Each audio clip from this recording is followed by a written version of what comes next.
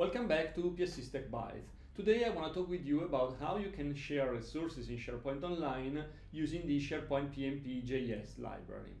First of all, let me remind you that the PnP.js library is an API, a fluent API, which allows you to leverage most uh, of the useful capabilities available in SharePoint on-premises and SharePoint Online in a client-side development model. It is an open source library which you can find on GitHub and in order to uh, use it you can leverage any client-side technology like JavaScript, TypeScript, Node.js or whatever else as long as you have support uh, for NPM packages. In fact, uh, the PnP.js library is provided as a set of NPM packages available under at npm slash and the name of the package you want to use.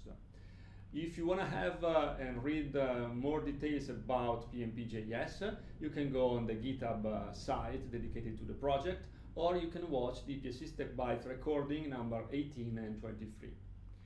Now, in order to share resources in SharePoint Online, first of all, you will have uh, to install the npm packages uh, of uh, PnP.js and you will have to import the SP type from PnP.js because the SP type is the base one and the reference one whenever you want to interact with SharePoint.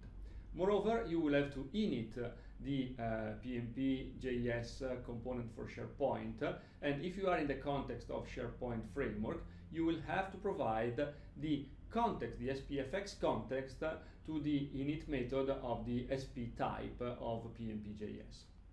Moreover, you will find a bunch of methods available for folders, libraries, and sites in order to share those resources to a target user and or eventually to unshare, to remove a sharing link or a sharing for a resource.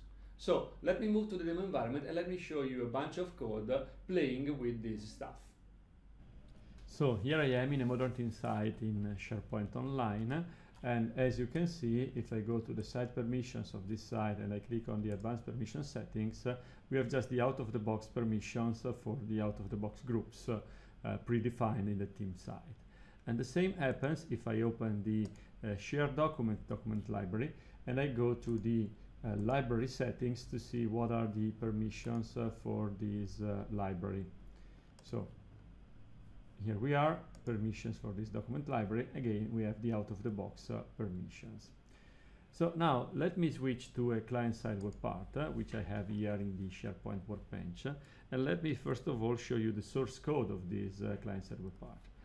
It's a client-side web part based on a React component. So I'm in the TSX uh, uh, source code of the React component in which I'm importing the SP type as well as a couple of supporting types for sharing uh, stuff with PnP.js.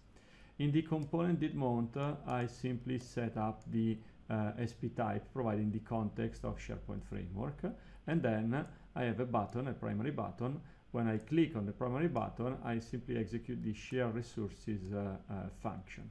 Here I get the relative URL of the current set collection and then I get through the SP type.web a uh, I can call the share object method providing the URL of the target resource that I want to share at the web level, the uh, login name of the target user with uh, uh, who I want to share my content, and the sharing role, which can be, uh, for example, edit, known, owner, or view. And for example, I'm sharing the full site, so the whole site uh, with the view permission, and then I just uh, output the result in the console window and I do the same for a specific library, the shared document library, with an edit permission, so a contribute permission. And again, I show the result here. So let me switch back to the client-side web part and let me click on the button.